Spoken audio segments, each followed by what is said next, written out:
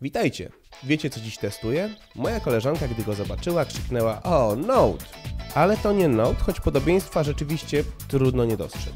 Duże gabaryty, metalizowana ramka dookoła obudowy, całkiem smukła konstrukcja. Tak naprawdę jednak to Go Clever Phone 500. Podobieństwo do znanego Samsunga nie czyni go zbyt odkrywczym stylistycznie, ale nie mam zastrzeżeń do jakości materiału. Wszystko jest nieźle spasowane i wydaje się raczej trwałe.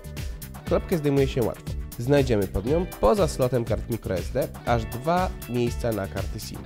Phone 500 to smartfon z dwoma SIMami aktywnymi jednocześnie. Dodatkowo możemy ustawiać, które funkcje mają być obsługiwane przez którą kartę. Pięciocalowy ekran nie powala rozdzielczością przy zwykłych dla tej wielkości panelach HD, ale na pociechę mamy niezłą jasność, dość wyraziste kolory i kontrast. Choć wydaje się, jakby ekran był mocniej podświetlany przy górnej i dolnej krawędzi. Dwurdzeniowy procesor pozwala na całkiem płynną pracę, nawigacja po prostym androidowym menu przebiega bez znaczących zakłóceń. Brak co prawda kilku znanych z innych modeli dodatków, jak wyboru skrótów dostępnych z ekranu blokady, czy opcji przywoływania wszystkich ekranów, ale ogólnie Phone 500 obsługuje się przyjemnie. Jedna uwaga, menu nie jest do końca spolszczone. Teście wydajności Go Clever Phone 500 uzyskuje przeciętny wynik. No niestety, nowsze tytuły potrafią wczytywać się długo i klatkować, ale tragedii nie ma, pograć się da. Przeglądarka internetowa spisuje się dobrze, choć urządzenie informuje czasem o spadku zasięgu Wi-Fi niezauważalnym w innych modelach. Nie przekłada się to jednak na komfort surfowania. Mniejsze czcionki są trochę niewyraźne z racji rozdzielczości. Klawiatura ekranowa za to nie sprawi problemów nawet właścicielom dużych dłoni. Jakość połączeń głosowych nie odstaje od innych popularnych modeli. W kwestii aparatu producent był nader skromny. Na pudełku opisał go jako 5-megapikselową jednostkę, podczas gdy naprawdę ma on 8 megapikseli.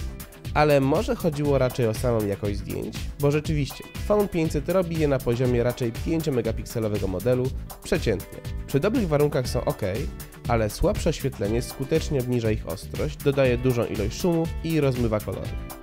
Sprawy nie ułatwia nam lampa błyskowa.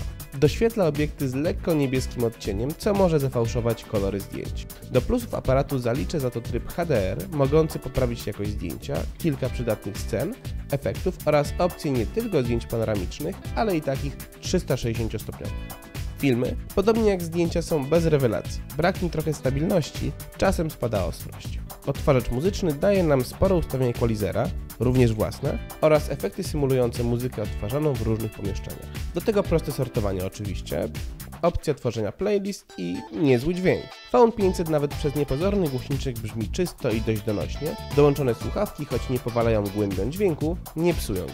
Na koniec bateria. Ma ona 2000 mAh i wystarcza na około 1,5 doby umiarkowanego użytkowania, a więc nie jest źle. Go Clever Phone 500 może nie jest demonem wydajności z ekranem Full HD, ale oferuje całkiem sprawną pracę, duży i odpowiednio czuły panel dotykowy oraz niezły dźwięk. A jego wykonanie nie odpycha. Nie sprawia wrażenia jakby się miał zaraz rozpaść. No i ma Dual SIM. To naprawdę ciekawa propozycja dla osoby szukającej smartfona typu Note, ale za dużo niższą cenę. Wynosi ona niewiele ponad 600 zł. A taki sobie aparat i stosunkowo niska rozdzielczość ekranu? Za tę cenę mogę to wybaczyć.